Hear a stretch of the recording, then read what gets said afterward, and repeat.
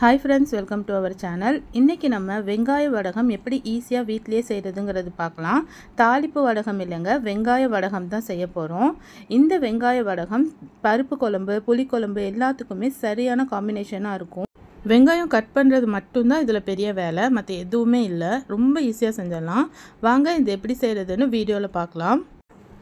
இதுக்கு முதல்ல நூற்றம்பது கிராம் வெள்ளை உளுந்து எடுத்திருக்கேன். நூற்றி ஐம்பது கிராம் எடுத்துக்கோங்க.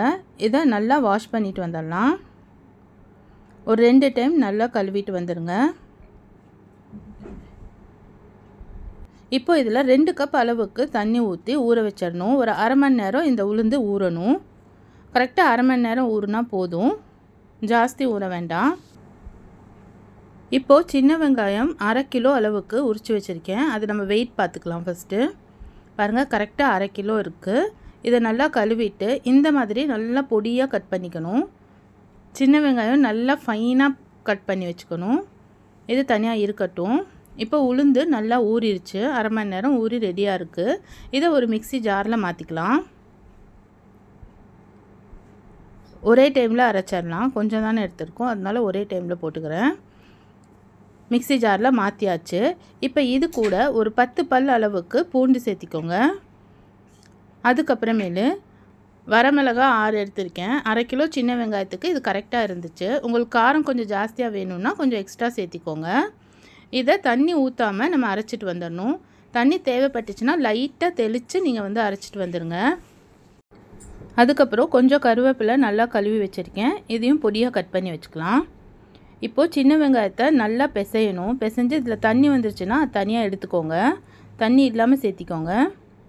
இந்த மாதிரி நல்லா பிசைஞ்சு உதிர்த்து விட்டுக்கணும்.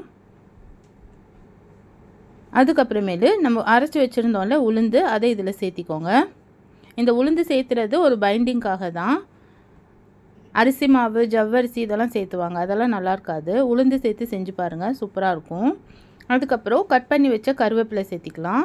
அப்புறம் ஒரு டீஸ்பூன் அளவுக்கு கடுகு சேர்த்திக்கோங்க. கடுகு எதுவும் வறுக்கலாம் இல்லை பச்சையாக தான் சேர்த்திருக்கேன். கடுகு ஒரு டீஸ்பூன். அதுக்கப்புறம் ஜீரகம் ஒரு டீஸ்பூன் சேர்த்திக்கோங்க. ஜீரகம் சேர்த்தியாச்சு. இப்போது இதுக்கு தேவையான அளவு உப்பு சேர்த்திக்கலாம். உப்பு நீங்கள் பிசைஞ்சதுக்கப்புறம் டேஸ்ட் பண்ணி பார்த்துட்டு பத்தலைன்னா சேர்த்திக்கோங்க. கடைசியாக கொஞ்சமாக பெருங்காயத்தூள் சேர்த்திக்கோங்க. அவ்வளோதான் இதுக்கு தேவையான பொருட்கள் எல்லாமே. இப்போ இதை எல்லாத்தையும் நல்லா மிக்ஸ் பண்ணி விடுங்க. இந்த மாதிரி கை வச்சு நல்லா பிசையணும். அப்போ எல்லா இடத்துலையும் இந்த உளுந்து மிக்ஸ் ஆயிரும். வெங்காயமும் உளுந்தும் நல்லா மிக்ஸ் ஆகி வரணும். அது வரைக்கும் பிசைஞ்சுக்கோங்க. இந்த அளவு பிசைஞ்சதுக்கு அப்புறமேலு ஒரு தட்டில் பாலித்தீன் கவர் வச்சு நான் இந்த மாதிரி போட்டிருக்கேன். இதே மாதிரி செஞ்சுக்கோங்க. கொஞ்சம் பெருசு பெருசாகவே பிடிச்சி வைங்க. ஏன்னா எல்லாமே காஞ்சதுக்கப்புறம் சுருங்கிரும். அதனால் ஃபுல்லாக நம்ம வந்து பெருசாக பிடிச்சி வைக்கணும். வீடியோவில் காட்டின மாதிரியே செய்யுங்க. இப்போ இதை வெயிலில் நல்லா ரெண்டு நாள் நல்லா காயணும். ஒரு சைடு காஞ்சதுக்கு அப்புறமேல் ரெண்டு நாள் கழித்து அதை திருப்பி போடுங்க. திருப்பி ஒரு ரெண்டு நாள் காய வைங்க. நல்லா காஞ்சதுக்கப்புறம் நமக்கு வடகம் ரெடி ஆயிடுச்சு நல்லா ஏர்டைட் பாக்ஸில் வச்சு ஸ்டோர் பண்ணிக்கலாம். இப்போ இதை எப்படி வறுக்கிறதுன்னு காட்டுறேன். கடாயில் எண்ணெய் சேர்த்திக்கோங்க. எண்ணெய் ரொம்ப ஹீட்டாக இருக்கக்கூடாது. மீடியமாக இருக்கணும் சூடு. அதில் நம்ம வடகம் போட்டு மெதுவாக ஃப்ரை ஆகணும். மெதுவாக ஃப்ரை ஆகணும். இந்த மாதிரி கோல்டன் ப்ரௌன் வர்ற வரைக்கும் நம்ம ஃப்ரை பண்ணி எடுத்துக்கணும். இந்த சம்மர் சீசன் போடுறதுக்குள்ளே இந்த வடகத்தை ஒரு டைம் ட்ரை பண்ணி பாருங்கள் கொஞ்சமாக வெங்காயம் கட் பண்ணி ஃபஸ்ட்டு ட்ரை பண்ணி பாருங்கள் சூப்பராக வரும்.